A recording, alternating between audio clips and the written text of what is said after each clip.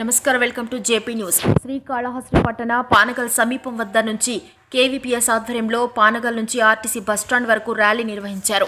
రెండు వేల పంతొమ్మిదవ సంవత్సరం తర్వాత అధికారంలోకి వచ్చినటువంటి కేంద్ర రాష్ట్ర ప్రభుత్వాలు దళితులపై దాడులు చేయటం నిత్యకృతంగా మారింది. ముఖ్యంగా మన రాష్ట్రంలో దళితుల ప్రస్తుతం అధికారంలో ఉన్నటువంటి వైఎస్ఆర్ ప్రభుత్వం దళితులపై దాడులు చేయటం నిత్యకృత్యంగా మారింది. వైఎస్ఆర్ పార్టీకి ఓటు వేసి అత్యధిక మెజార్టీతో పెట్టారు కానీ అంతకు ముందు గత ఐదు సంవత్సరాల్లో మొత్తం కలిపి ఎన్ని దాడులు జరిగాయో దళితులపైన కేవలం ఒకటిన్నర సమీపంలోనే జరగడం మనం చూస్తున్నాం. సామాన్య కార్యకర్తల నుంచి ప్రతి ఒక్కరిని వేధించడం పోలీస్ స్టేషన్లో శిరోముండనం చేయడం ఇలాంటి ఘటనలు మనం చూసాం.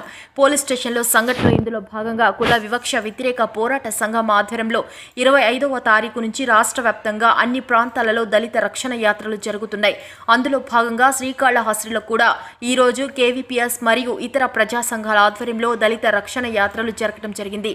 శ్రీకాళహస్తి హాస్పిటల్ వద్ద అంబులెన్స్ నిర్వహిస్తున్నటువంటి కేవీపీఎస్డి విజన్ నాయకులు మీద దాడి చేసినటువంటి ఇంతవరకు చేయలేదు. ఎస్సీ ఎస్టీ అట్రాసిటీ కేసు నమోదు చేసినప్పటికీ పోలీసులు అరెస్ట్ చేయలేదు అని మేము భావిస్తున్నామంటే వాళ్ళ మీద రాజకీయ ఒత్తిళ్ళు ఉన్నాయి కాబట్టే వాళ్ళిద్దరూ అరెస్ట్ చేయలేదని చెప్పి మేము భావిస్తున్నాము.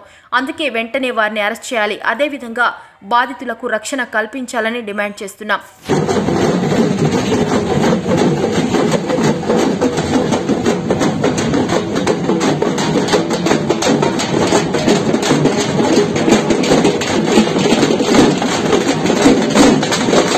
పోలీసులు కానీ ఇక్కడ ఉన్నటువంటి ప్రజాప్రతినిధులు కానీ ఏమాత్రం పట్టించుకోలేదు.